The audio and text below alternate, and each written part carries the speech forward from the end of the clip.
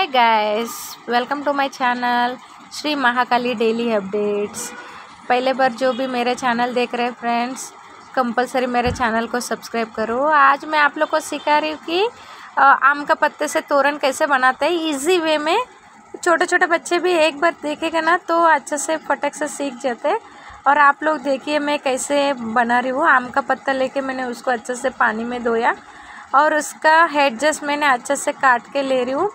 और अच्छे से मैंने वो पत्ता को, देखो यहाँ पर एक बड़ा वाला पत्ता लेती हूँ, फिर थोड़ा छोटा और थोड़ा छोटा।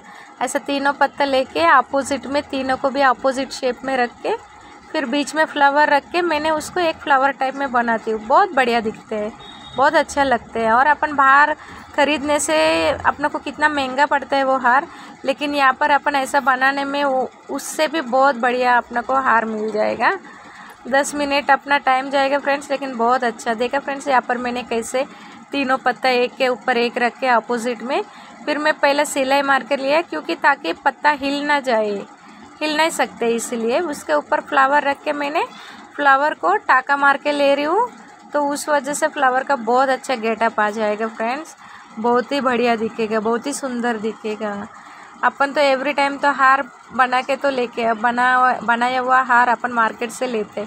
लेकिन अपन क्यों अपना घर पे क्यों नहीं बना सकते? हैं तो अपना में भी कुछ टैलेंट होता है ना तो वो क्यों नहीं बाहर निकलेगा? तो देखो यहाँ पर ऐसे ही अच्छे से अपन सब फ्लावर्स ऐसा ये करने का, फिर नीचे लास्ट में टाका मार के, फिर कैंची से उस धागा को काट लेने का एक एक फ्लावर्स अपन ऐसा जितना चाहिए उतना।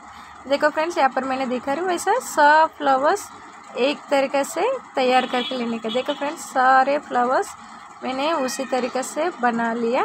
फिर देखो यहाँ पर फिर दो दो को लेके फिर उसको पहले मैं दा सुई धागा से जोड़ती हूँ। फिर जोड़ने के बाद फिर मैंने बीच में ऑपोजिट कलर मतलब अभी मैंने यहाँ पर दोनों भी आ, ये अपना रेडिश में यूज़ किया ना फ्रेंड्स अभी मैंने येलो कलर में मैंने मैरीगोल्ड फ्लावर लिया, फिर उसको यहाँ पर मैंने टाका मार के, फिर उसको अटैच कर रहे हैं पत्ता पे उस फ्लावर को। देखा फ्रेंड्स कितना अच्छा लुकिंग आ जाता है। आप लोग देख सकते हैं। बहुत ही बढ़िया छोटे छोटे बच्चे भी एक बार भी देखेगा ना तो सीख जाएगा कि कैसे बना सकते हैं अपन। बहुत ही इजी वे में हमारे साउथ में बहुत सारे छोटे छोटे बच्चे भी ऐसे ही फ्लावर्स बनाते हैं। फिर बना के, तोरण बना के अपना दरवाजे पे अच्छे से रखते हैं।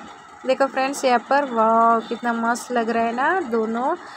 मस्टर्ड येलो कलर में मैरीगोल्ड फ्लावर है, गोंडा फ्लावर बोलते हैं ना अपन, गोंडा है।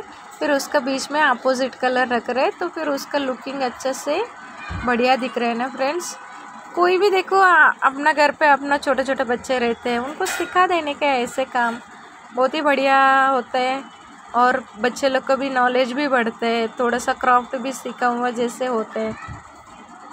बहुत ही अच्छा लगता है। हर त्यौहार में अपन भी आधा एक किलो फ्लावर्स लाने का, ऐसे ही तोरण बना के अपना दरवाजे पे, ताकि मंदिर में अलग अलग से अपन फ्लावर्स बना के अपना मंदिर में अपन रख सकते देखो फ्रेंड्स यहाँ पर थोड़ा थोड़ा मैंने उसको माला तरीका जैसे बना रही हूँ।